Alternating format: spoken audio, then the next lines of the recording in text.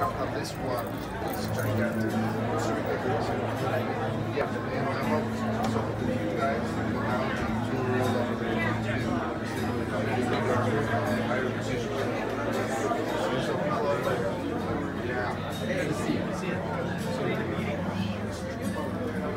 The ones that- Yeah. yeah, dark stuff. Yeah, I think. Yeah, I met him at the. He's my drummer. You do know? I met him at the Lamb of God show. Yeah.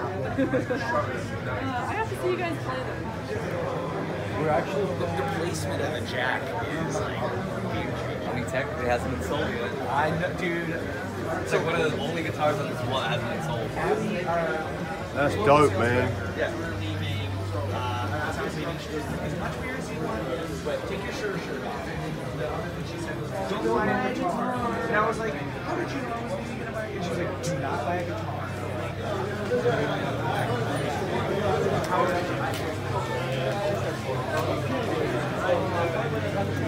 Okay, Jungs, also das war jetzt kein First Take, ne? Okay. Jetzt war gegen meins, Alter, ich flipp. Ja.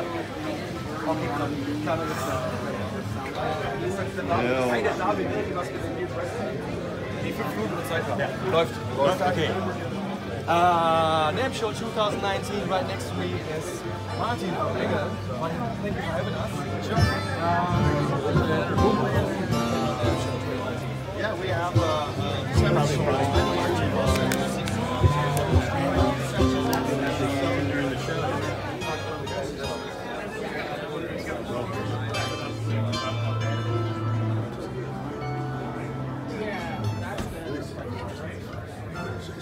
Yeah.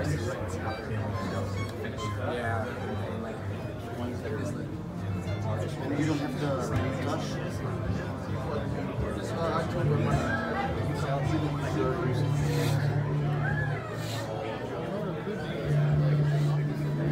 What do you think this is?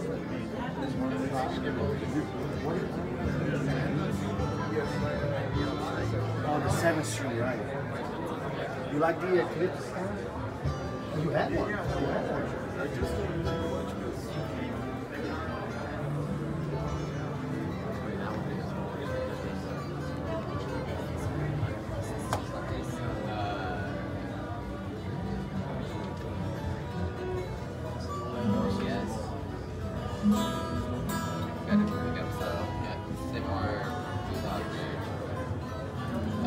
Rock on ESP.